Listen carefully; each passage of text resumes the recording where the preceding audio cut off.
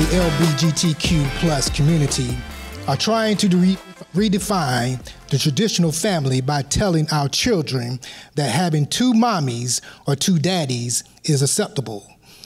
Jesus' pride is defending the traditional family established by God.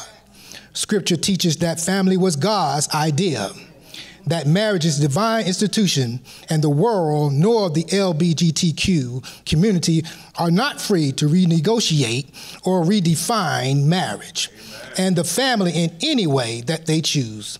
Jesus' pride is fighting to preserve and respect what God has divinely instituted. The traditional family refers to the matrimonial union between one man and one woman with normal expectation of having children. Two men and two women cannot reproduce. Their lifestyle is a death style. When God created woman and brought her to man, establishing the first family, she was well equipped to meet all his needs. The God of the Bible got it right. No man wearing a dress heels, wig, and makeup will ever measure up to God's design, nor can two men or two women measure up to the biblical definition of family. God made them male and female. Jesus' pride is teaching our children that they are fearfully and wonderfully made, that God did not make any mistakes when He created them, and there is no need for gender reassignment.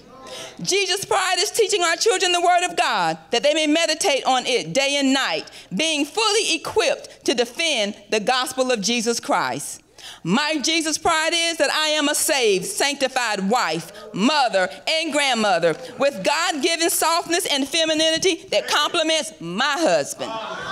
And the wisdom to train and be a godly example to my daughter and granddaughter to be proud of their femininity. Jesus' pride is standing firm on the foundation of family and pushing back against the feminization of black men on TV and in the movies.